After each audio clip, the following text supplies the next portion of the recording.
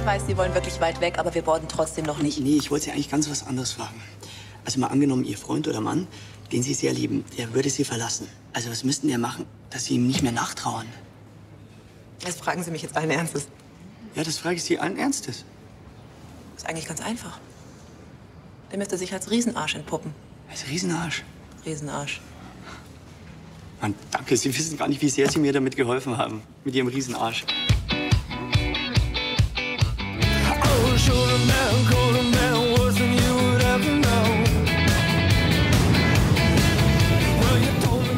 Liebe Biene, wenn du dies hier liest, bin ich in Buenos Aires, Argentinien. Ich musste einfach abhauen. Es ging nicht mehr. Den Überfall am Flughafen, den habe ich vorgetäuscht, weil ich kein Baby mit dir will und auch kein Haus mit Kiesauffahrt.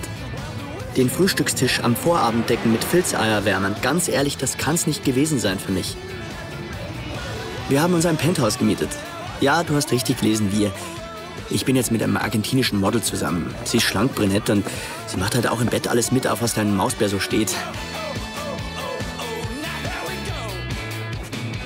Ich wünsche dir von Herzen alles Gute und dass du bald jemanden findest, mit dem du was in dein Kinderzimmer stellen kannst. Aus der Sonne Argentiniens, grüß dich, dein Pitschi.